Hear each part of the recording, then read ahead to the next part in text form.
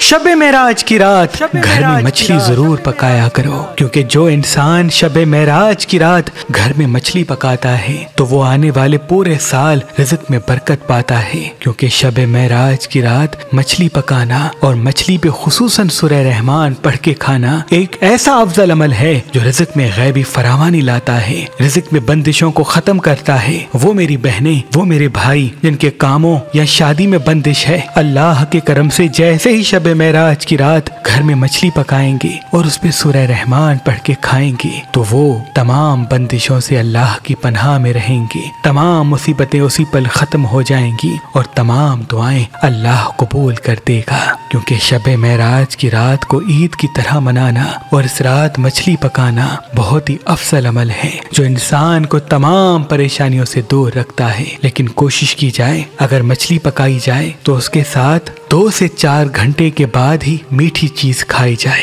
यानी मीठी चीज़ और दूध वाली चीज़ें मछली के साथ न खाई जाए। इनशाला आप तमाम हाजतों को अल्लाह की दरबार में कबूल करवाएँगे।